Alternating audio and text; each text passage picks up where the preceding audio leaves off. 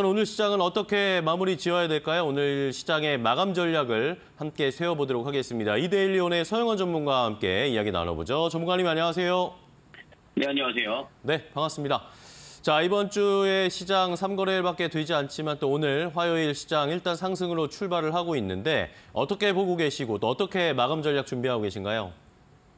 네, 맞습니다. 사실 지난주에는 미국 증시가 상승을 강하게 했습니다만 월요일장에서는 좀 혼조세를 보였기 때문에 오늘 시장 자체가 조금 아쉬움이 있지 않을까라고 생각을 했는데 어, 코스피 지수가 2,500선을 지지를 해주고 코스닥도 850선을 좀 돌파시키면서 상당히 좀 좋은 흐름들이 계속해서 이어지고 있는 상황입니다. 어, 그러면서 특히나 수급적인 면에서 굉장히 좀 개선되는 모습들을 좀 보여주고 있는데요. 외국인들이 어, 코스피, 코스닥, 그 다음에 현선물 모두 매수세가 좀 들어오고 있다라는 점에서는 어, 시장에 상당히 좀 긍정적인 이슈라고 좀 볼 수가 있겠습니다.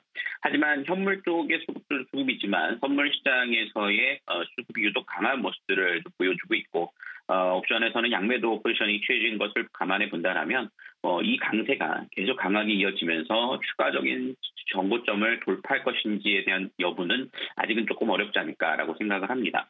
특히나 앵커님께서 말씀해 주셨듯이 환율은 어, 워낙 약세로 계속해서 지속되는 모습인데요. 최근 달러 인덱스 자체가 어, 약세를 보였다는 점에서 원하는 일반적으로는 강세를 보여주는 것이 정상적인 흐름인데 그렇지 못하다라는 점에서는 어, 오늘 상승은 이어지고 있지만 아무래도 빅 이벤트를 앞두고 있는 상황이다 보니까 지수 상승 자체는 좀 제한적일 수도 있다라는 점들을 염두에 두고 어, 살펴보셔야 되지 않을까 싶습니다.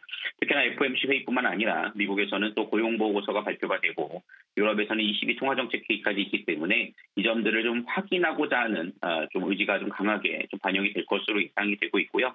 하지만 어, 상승 종목과 하락 종목을 봤을 때는 상승 종목이 상당히 많다는 점을 감안해 본다라면 대형주들은 조금 쉬어가는 흐름들이 나올 수 있고 상승이 제한될 수 있지만 중소형 주 단에서는 업종 순환매로서 충분히 좀 탄력이 좀 괜찮은 모습들이 이어질 수 있다는 점에서 실적이 좋은 종목 위주로서 조금 중대형, 중형주 또는 중소형주 쪽으로 포트를 구성하신다라면 이번 주에는 좀 완만한 전략이 가능하지 않을까라고 생각하고 있습니다.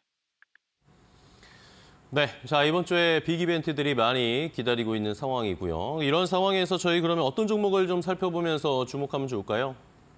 네, 지난주에도 좀 관심 종목 소개해드렸던 종목인데요. 네. 현대공업이라는 종목입니다. 현대공업. 어, 네, 맞습니다. 지금 현재 구간에서 계속 옆으로 횡보하는 모습들을 보이고 오늘 5%대 상승세를 보여주고 있는데 어, 자동차 부품주에 대해서 상당히 좀 관심을 가져볼 만하다라고 판단이 됩니다. 특히 현대기아차의 실적 개선세가 그대로 좀 반영되는 모습들을 볼 수 있다라는 점에서는 어, 상당히 좀 긍정적인 시각으로서 좀 보실 수 있다라고 판단이 되고요. 그것을 반증해 주듯이 외국인 수급들 역시 좀 강하게 좀 들어오는 모습들입니다. 그렇기 때문에 어, 지금 현재 정고점 돌파 전에 좀 관심 있게 살펴보시면 좋을 것 같고요.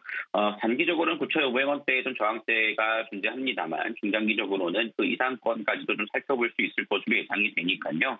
어, 이번 주 좀 모아가시는 전략으로 대응하셔서 단기적으로는 9,500원, 중장기적으로는 만원 돌파하는 흐름들까지도 가져가 보셔도 충분하지 않을까 싶으니까요. 이 점 관심 있게 살펴보시면 좋을 것 같습니다. 네, 알겠습니다. 지난주에 이어서 현대공업 오늘도 잘 살펴보고 이번 주에 흐름 체크해 보도록 하겠습니다. 또 오늘 좋은 전략 소개해 주셔서 감사하고요. 내일 또 뵙겠습니다. 전문가님 고맙습니다. 네, 감사합니다. 네, 감사합니다.